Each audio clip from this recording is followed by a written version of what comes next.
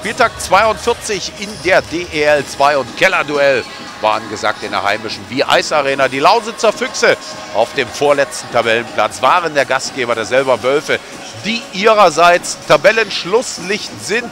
Aber auch das hat bei denen in dieser Saison viele, viele personelle Sorgen hervorgerufen. Viele Ausfälle, viele gesundheits- und verletzungsbedingte Ausfälle. So sind sie denn auch an diesem Spieltag hier in der Wie-Eis Arena in die Lausitz mit gerade einmal zehn Feldspielern und zwei Torhütern gekommen.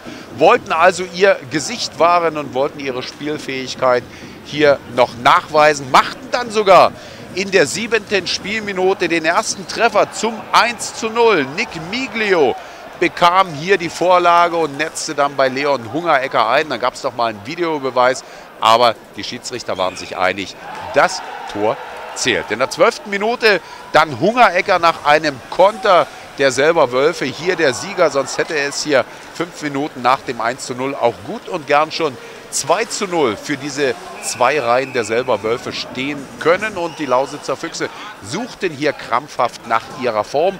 Und die fanden sie dann allerdings erst in der 15. Spielminute durch die erste Reihe. Hunter Garland und Peter Quenville machten hier die Vorlage auf Bennett Rosmi und der markierte den Ausgleichstreffer zum 1 zu 1. Im Mittelabschnitt dann erneut die Lausitzer Füchse, wenn auch nicht schön, aber dann doch erfolgreich.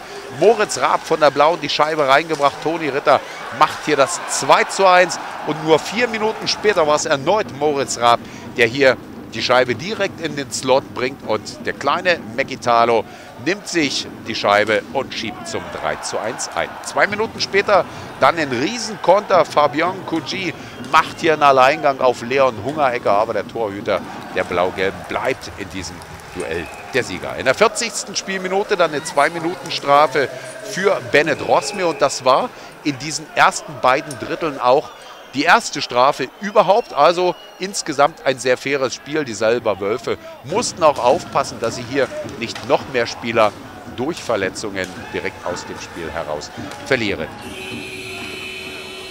Im Schlussabschnitt die Lausitzer noch in Unterzahl die ersten Sekunden. Und nach 20 Sekunden musste sich dann Hungerecker hier zum ersten Mal auszeichnen. Ohne Schläger schmeißt er sich dann dort auf die kleine schwarze Hartgummischeibe und verhindert hier den Anschlusstreffer durch die selber Wölfe. In der 46. Spielminute dann Toni Ritter eine Strafe wegen Stockschlags. Da hatten unsere Gäste noch mal eine Minute später eine Riesenchance. Der Puck trudelt auf Hungerecker drauf zu und dann hätten sie ja fast die Möglichkeit gehabt, nutzen sie aber nicht.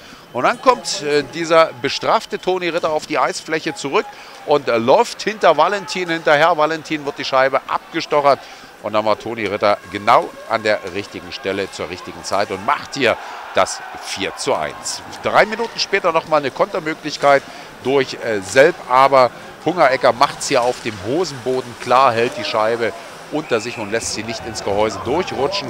Und drei Minuten vor Ende war es dann wiederum Reihe 1, die hier den Endstand markierte.